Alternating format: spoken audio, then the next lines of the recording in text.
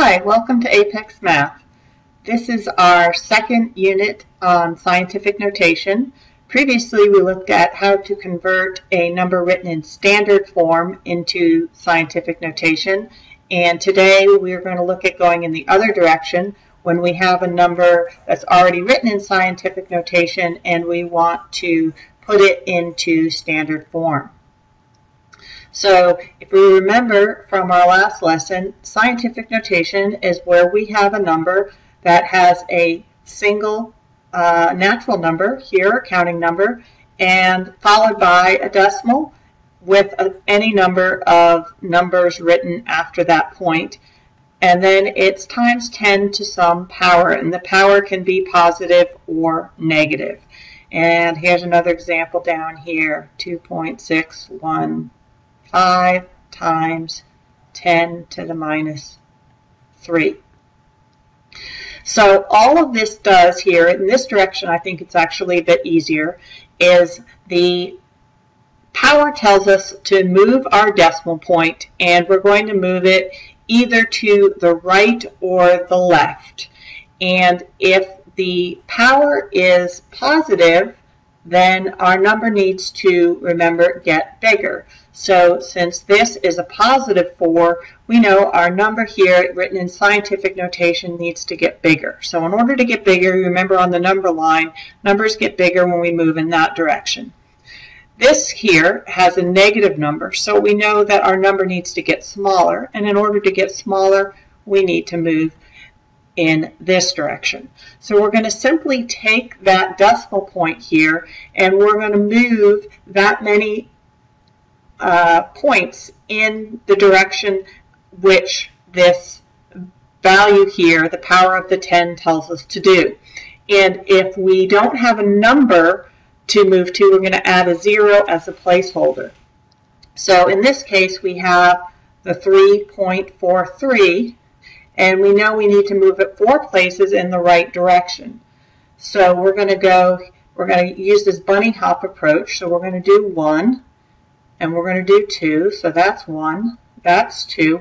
We need to go a total of four. So we're going to do two more, but because there are no numbers there to bunny hop around, we're going to put a placeholder in. That's three, and that's four.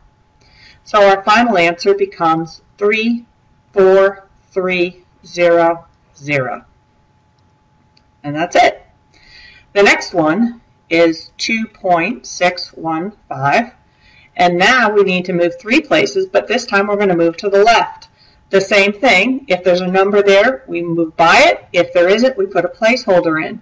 So we're going to go, we have got one number to move next to, so that counts as one. We need to go a total of three, so we're going to need two placeholders. So we're going to have a zero here, that's two. And we're going to have another one here, zero here, that's three. Our decimal point is there. So we end up with point zero, zero, two, six, one. Oops, should be a five. So erase it and make that a five. There we go. Uh, we'll do two more, and that's really as simple as it gets, doing this uh, in this particular direction.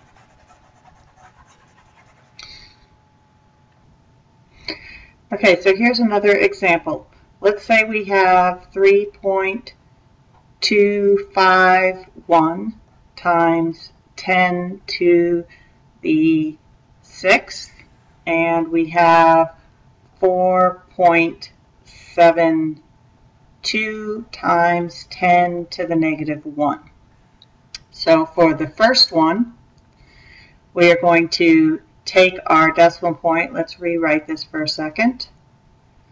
And we're going to move it six places. Since it's a positive number here, we're going to move it to the right. So we're going to bunny hop six places. So one, two, three, four, five, six. So we need to add three zeros. And you can see we have one, two, three, four, five, six places.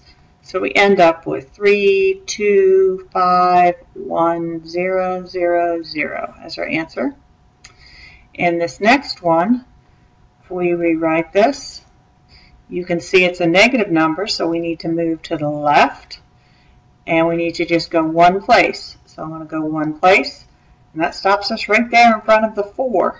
So we end up with 0.472. We didn't need any placeholders in that one. And that's all there is to it for this second part of scientific notation. For the next part, we will look at how to do arithmetic with scientific notation, so be sure to tune in. Thank you very much.